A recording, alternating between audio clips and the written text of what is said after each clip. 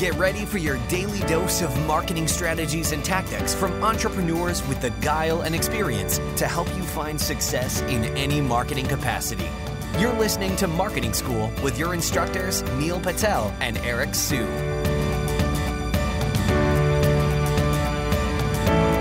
Welcome to another episode of Marketing School. I'm Eric Siu.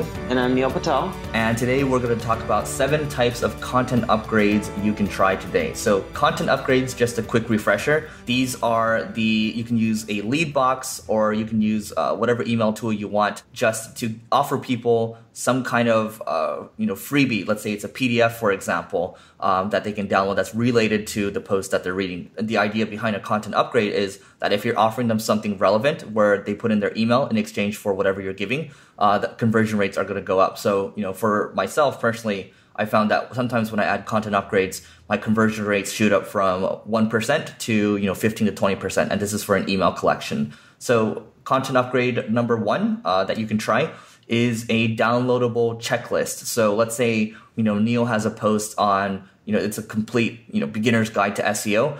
I'm only going to cover the, the big important points you know, people need to remember in this checklist. Maybe it's a 10 step checklist and then people can, you know, swipe that and then, you know, put in their email address to, to get access for later. So that's the, the first one. It's because checklists are really easy to look at and people just like to take templates, especially marketers, and just start to go do something with them. Yeah, number two, and it's kind of similar to number one, it's a cheat sheet.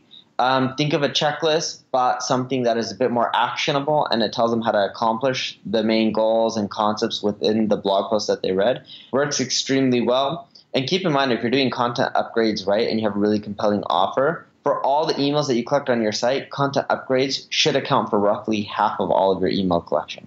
All right. So number three, you can put together, and this one's really simple. You can use a tool called Designrr. So this is spelled design and two R's uh, at the at the end. There's no E. So Designrr uh, or Designrr. We'll, we'll just pronounce it that way, Designrr. And then uh, you can take the blog posts, basically convert it into a, a nice looking PDF. So that saves you a lot of time. It's it's a more basic version because sometimes you know people like to let's say for example this podcast people like to just you know read the transcripts right um, i know for myself i'll personally never read the transcript but sometimes people just like to have you know a blog post sitting uh, you know in you know in their let's say in, in one of their folders. But that one i will say the conversion rates are lower because basically you're just giving them um, what they already have read. So just keep that in mind but it still does increase the conversion rate Number four, your content upgrades don't have to just be content. Send them to something that's more educational. So, one way that I get uh, emails and I convert those visitors into sales is some of my content upgrades are relevant webinars. So, if that post is, let's say, on content marketing, I may send them to a webinar that they can register for that's related to content marketing. Creates a ton of opt ins and I generate sales from it. Works extremely well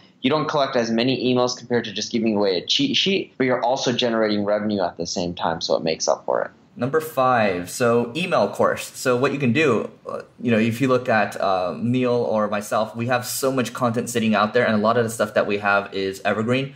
So if we wanted to make, let's say, an SEO kind of 11 day course, um, basically have people subscribe into a campaign where we just keep keep giving them our best content related to one subject, we can do that. So if someone's reading something on content marketing, give them an 11 day or 7 day content marketing course. Same thing with SEO, same thing with paid advertising.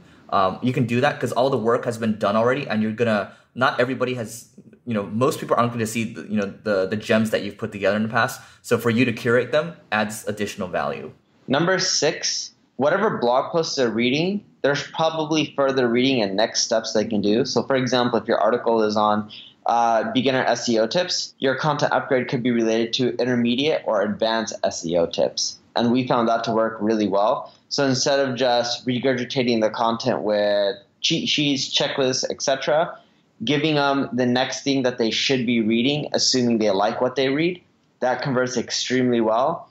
And when you're doing these content upgrades, one thing we didn't mention is you ideally want to have it in the top first few paragraphs within your blog post. It converts the best there and also restate the content upgrade towards the bottom of your post as well. Great. And then one thing I'm going to add, this is kind of a alternate to doing a webinar like Neil's mentioning, but you can put a video launch sequence. So those of you that aren't familiar with the launch sequence, check out Jeff Walker's product launch. Uh, you can check out, I think he has a YouTube channel as well, but putting a video launch sequence as well that's evergreen where you can basically say, you know, you have a four launch uh, sequence talking about okay, you know, you give them some additional value, give them some additional value, and then you talk about the product that you have in maybe the third or fourth video. That does work well. Um, you know, it, it's a good complement to the the webinar. If you don't want to just do a webinar, if you want to just have something kind of you know sitting there, and you can also for the webinar, you can do a live one, or you can do a kind of evergreen webinar as well using a tool like EverWebinar. One more thing before we go. This week we're giving away five annual copies of Ahrefs which is our favorite SEO tool. All you need to do, all you need to do to enter, I should say, is to subscribe, rate, and review our podcast, which is huge. And then make sure that you text marketing school, that's one word, to 33444. Once again, that's marketing school, one word, to 33444. And then we will confirm a winner. Neil, anything else to add? That's pretty much it. Keep in mind when we're doing these promos and giving away free tools, we don't get paid for this. This isn't a sponsorship.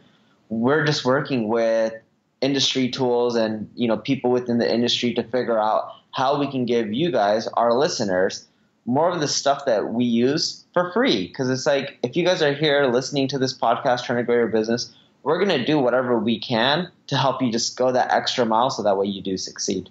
So enter the contest, rate and review the podcast. We really do appreciate it. And if you happen to win one of those free copies of Ahrefs, you will be happy. It's a tool both Eric and I use multiple times a day. All right. I'll see you guys tomorrow. This session of Marketing School has come to a close. Be sure to subscribe for more daily marketing strategies and tactics to help you find the success you've always dreamed of. And don't forget to rate and review so we can continue to bring you the best daily content possible. We'll see you in class tomorrow, right here on Marketing School.